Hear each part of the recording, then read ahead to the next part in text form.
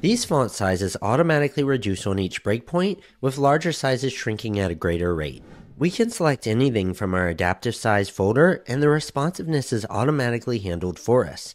Any changes we make here are affecting the H2 tag and class from one place. The same size variables that power our font size can also be applied to any other adaptive sizes throughout our site. And thanks to custom properties, we can now link font weight and even text transform to variables. So let's set this up for ourselves. So let's create a size variable and we'll put this in a folder called H2 and we'll call this font size. Let's set that to 4 rem, and under that we'll have a font family. This is our H2 font family. We can choose one from here. Under that, we'll need a font weight. Since there's no option for that, we'll choose size, and we'll call this H2 font weight. Under that, we'll need a line height, so another size. This will be H2 line height. And usually we'd want to set this with a unitless line height, but since that's not supported in variables, we can do 1.5 EM instead. It'll look the exact same as a unitless because it's multiplying off the rem font size.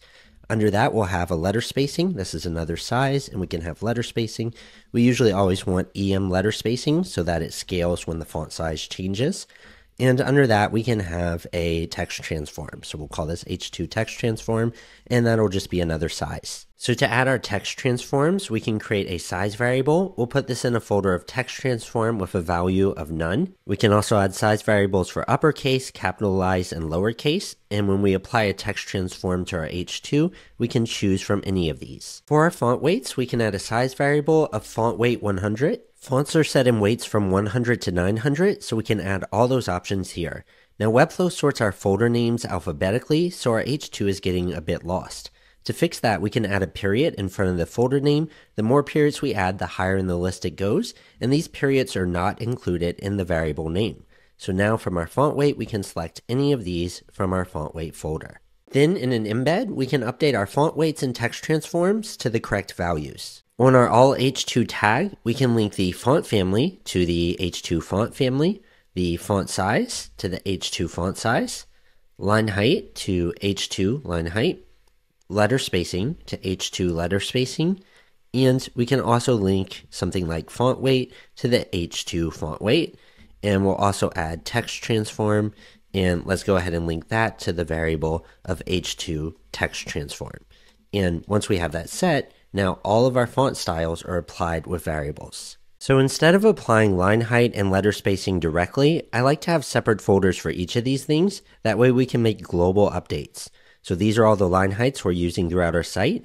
If we want to change any instance of 1.5 EM to 1.6, all we need to do is change the variable name and the value, and every heading using this will update from one place. Same goes for our letter spacing. And to apply this, we can just go to our line height here and pull any value from our line height folder.